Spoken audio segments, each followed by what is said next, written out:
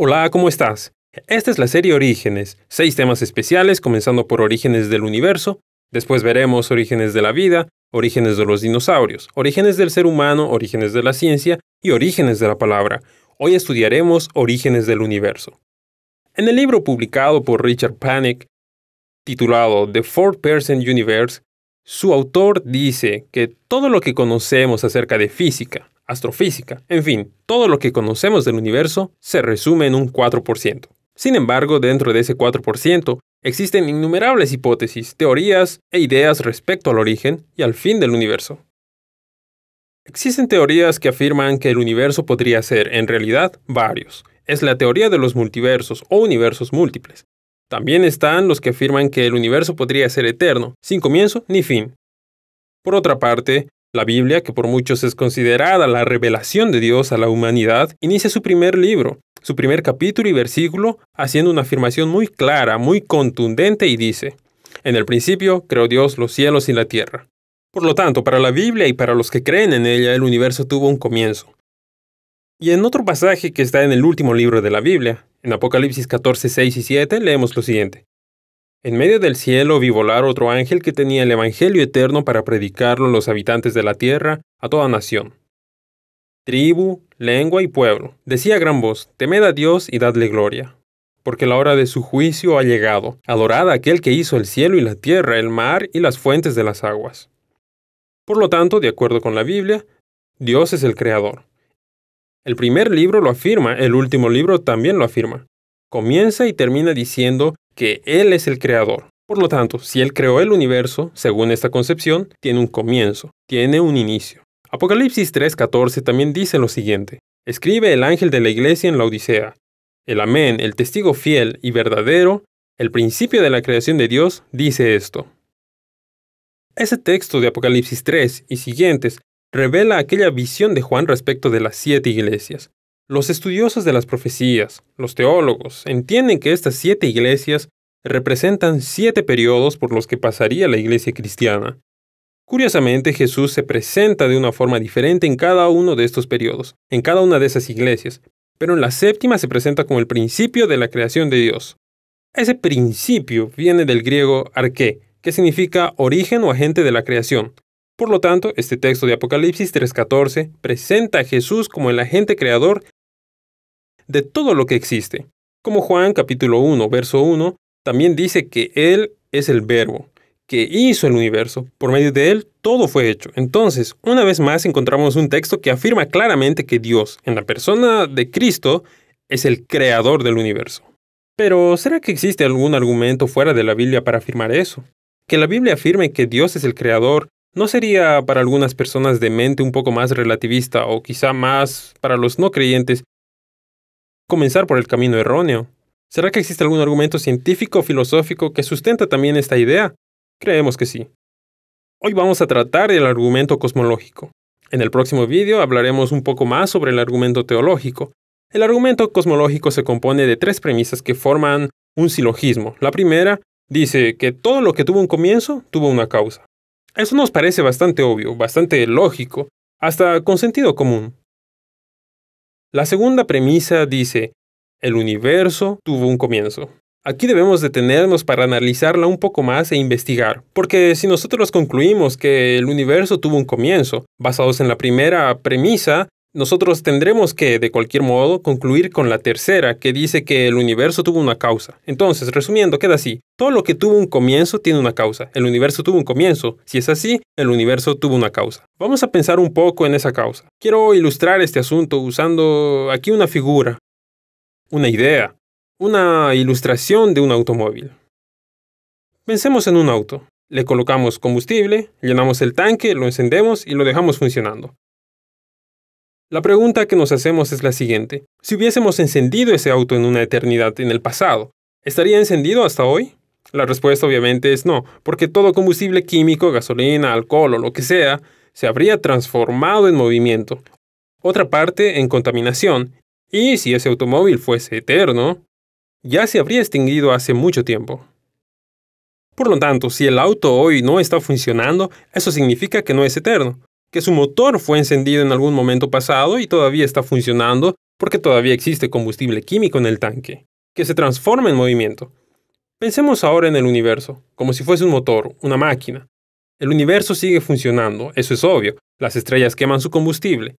El espectador de este video todavía funciona, por lo tanto, suponer que el universo fue eterno en el pasado parece que no corresponde a los hechos. Si el universo fuese eterno hacia atrás en el pasado, no habría más combustible disponible. Las estrellas no seguirían quemando con más combustible. Ni siquiera nosotros estaríamos pensando, hablando, escuchando o funcionando. Eh, estas constataciones son tan claras que la actual teoría vigente, la más aceptada para el origen del universo, se llama Big Bang. Podríamos concordar o disentir con varios aspectos de esta teoría, pero lo interesante es que es bastante teológica. ¿Por qué? Porque establece un principio, coloca un origen para el universo. Todo lo que tuvo un comienzo tiene una causa. El universo, por lo que acabamos de ver, y por otras evidencias más que el tiempo no permite que abordemos, todo indica que también tuvo un comienzo. Si el universo tuvo un comienzo, tiene que tener una causa. Ahora pensemos un poco en esa causa. Tiene que ser, en primer lugar, todopoderosa. ¿Por qué tiene que ser todopoderosa? Porque creó un universo que es muy grande. Pensemos solamente en nuestra galaxia, que es una entre millones, la Vía Láctea. Para atravesar nuestra galaxia de punta a punta, de un extremo a otro de ese disco espiralado lleno de nebulosas, estrellas, planetas, en fin, para cruzar, para cruzar esta nuestra galaxia de punta a punta, demoraríamos a la velocidad de la luz a 300.000 km por segundo. Tardaríamos 6.000 años, solamente una galaxia. Nuestra galaxia tiene cerca de 400.000 millones de estrellas. Según los astrónomos, existen entre 40 y 100.000 millones de galaxias. Pensemos entonces realmente en el número de estrellas que existen en el universo, son realmente incontables. El Salmo 147, verso 4, contiene una afirmación que va al encuentro de esta constatación que acabamos de hacer. Allí dice, Dios cuenta el número de las estrellas, a todas ellas llama por sus nombres. Mira, para nosotros son incontables, pero para Dios no. Dios las conoce a todas, Dios las llama por su nombre. Déjenme decir algo ahora, aprovechando esta idea que el Salmo nos da. ¿Pensaste alguna vez que Dios no te conoce? ¿Pensaste alguna vez que Dios se olvidó de ti? Te invito a repensar esta idea, porque si Dios es tan detallista, tan cariñoso al punto de conocer todas las estrellas por su nombre, teniendo en cuenta que para nosotros son incontables, ciertamente Él conoce a cada uno de los 8 mil millones de seres humanos que habitan en la Tierra. Él sabe todo acerca de ti. Bien, Volviendo a nuestro tema. El universo realmente es inmensurable. Esta foto que se ve en pantalla no se refiere, no está tratando estrellas en cada punto. Cada uno de esos puntos. Esta foto fue tomada por el telescopio espacial Hubble. Cada uno de esos puntos es una galaxia. Entonces pensemos, cada punto contiene miles de millones de estrellas. Cada punto representa un número incontable de planetas. Y, muchas cosas más. Ahora veamos esta otra foto. Esas manchas que se ven en la pantalla son superaglomeraciones de galaxias. Allí existe una gran concentración de galaxias, y ese es el límite visible actual de nuestro universo. Los telescopios uh, no logran mirar más allá de eso. Por lo tanto, el universo podría ser mucho más grande de lo que podemos percibir. Realmente tenemos que concluir que esa causa primera debe ser todopoderosa. El Salmo 19, verso 1 dice, los cielos cuentan la gloria de Dios y el firmamento anuncia la obra de sus manos. Esta primera causa no causada también tiene que ser inteligente, porque no solamente trajo a la existencia un universo vastísimo, enorme, sino que trajo a la existencia un universo que funciona como un reloj. Perfectamente. Pensemos en los engranajes de un reloj. Imaginemos que somos astronautas que caminamos por el planeta Marte y de repente nos tropezamos con un objeto. Al tomarlo percibimos que es un reloj. ¿Cuáles serían nuestras posibles conclusiones? Primero, los marcianos usaban relojes. Segundo, es posible que un terrícola haya pasado por aquí y perdió su reloj. Tercera, creo que no pensaríamos en esta. Las tormentas en este planeta terminaron juntando minerales, metal, vidrio y después de millones de años apareció este objeto funcionando. Tengo la seguridad de que no pensaríamos de esa manera. De hecho, al contemplar el mecanismo de un reloj, cualquiera presupone que existe un relojero. Cualquiera presupone que si existe algo que revela un diseño inteligente, una intención, Eso presupone realmente una función. Y luego una intención de alguien que ha creado esa función. El universo es así. El sistema solar es un reloj. Los planetas giran a una distancia perfecta, con velocidad constante. Nuestros relojes se ajustan por los movimientos astronómicos. Por lo tanto, al pensar en el sistema solar, tenemos que pensar y recordar que es mucho más complejo y preciso que los relojes que admiramos tanto aquí en la Tierra. Esa causa primera realmente tiene que ser muy inteligente.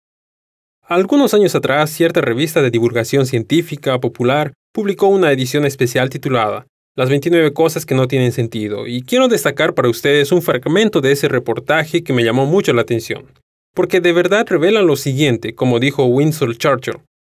Algunas personas se tropiezan con la verdad, se levantan y hacen que... como si nada sucedió. Eso es lo que sucede aquí. Acompáñenme en la lectura. Si la gravedad fuese un poco más fuerte, las estrellas tendrían una vida muy corta y nunca habría un tiempo útil para la evolución de las especies. Si fuese más débil, las estrellas no serían capaces de aumentar su masa. ¿Y qué pasa con la atracción mutua entre electrones y protones? Si fuese diferente a como es ahora, no existirían los átomos estables. Son parámetros que, debidamente ajustados, convierten al universo en un lugar habitable. La pregunta que nadie quiere hacer es, ¿quién o qué hizo este ajuste o regulación de los cosmos allá en el inicio de todas las cosas? Sabes, el párrafo siguiente no responde la pregunta, cambia el asunto. Entonces es el típico caso de tropezarse con la verdad, levantarse, sacudirse el polvo y fingir que no pasó nada. Esa es la gran pregunta. ¿Quién hizo un universo tan regulado, tan perfecto, regido por constantes tan finamente ajustadas? Esa primera causa solo puede ser realmente muy inteligente. Pero hay más. Esa primera causa tiene que ser inmaterial, más allá del espacio y atemporal. ¿Por qué? Porque creó el tiempo, el espacio y la materia. Y finalmente, esa primera causa tiene que ser personal. ¿Por qué tiene que ser una persona? Porque la energía o algo impersonal no elige crear cosa alguna, solamente un ser que sea una persona, dotado de libre albedrío, de poder de elección, podría crear el universo, como hoy lo vemos, que funciona en base a un tiempo, espacio y materia complejo, funcional y lleno de diseño inteligente. Curiosamente, esta primera causa no causada es exactamente aquella que representa la Biblia. El Dios de la Biblia es todopoderoso, inteligente, en realidad es omnisciente, es omnipotente, es inmaterial, es trascendental, está más allá del espacio, el tiempo y la materia porque Él creó todo eso, esas tres dimensiones, y es una persona.